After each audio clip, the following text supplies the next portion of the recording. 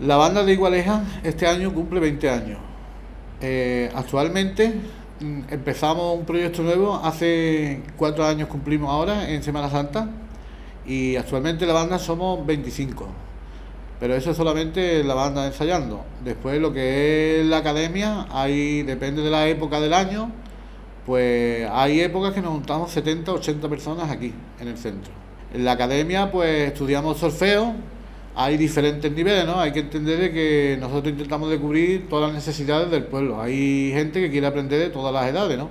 Hay niños desde cuatro años hasta incluso un alumno que tenemos que viene de San Pedro, de aquí del pueblo, pero vive en San Pedro y creo que tiene 70 o 71 años.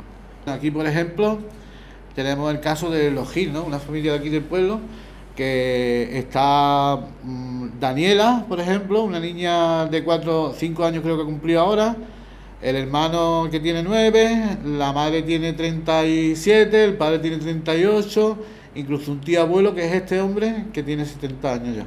Pues los ensayos eh, tenemos como norma principal, el, ensayo general son los viernes. Después música tenemos lunes y miércoles, ¿vale?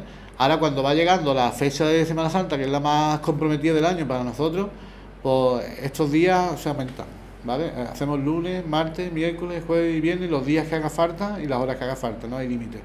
Límite lo pone la gente. Digamos que mientras más tiempo libre tengan ellos, pues más vengo yo aquí al pueblo y alargamos los ensayos, alargamos las clases, salimos tocando por la calle para que los niños nuevos cojan el paso y para escucharnos un poco en la calle. Tenemos una banda tocando de 20 personas, pero en la academia hay 50 personas más, tranquilamente.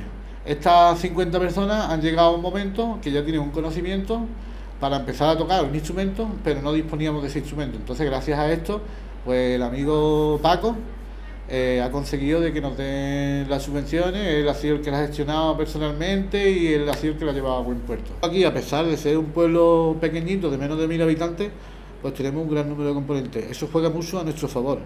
Mientras más grande sea la banda, mientras más grande el número de componentes, más podemos nosotros hacer también, ¿vale? Entonces era muy importante que nos dieran ese instrumento para sacar este proyecto a cabo. Eh, la gente viene y si no hay instrumento, no hay material con que hacer música, pues la gente se va a su casa, aburrida. Entonces, ahora nos dan estos instrumentos, eh, esta juventud que está aquí aprendiendo, pues no está por ahí, en la calle, ¿vale? La calle, entre comillas. Aquí pretendemos de que la gente se culturice, se relacione y todo a través de la música. Nosotros estudiamos música para ofrecer nuestra música a las demás personas. Pues nosotros nos marcamos como objetivo ser un referente eh, en toda la, la, de Ronda y el Valle de Genal. Esperamos que los pueblos de aquí de la zona, mm, los que no tengan banda, pues que se lo planteen.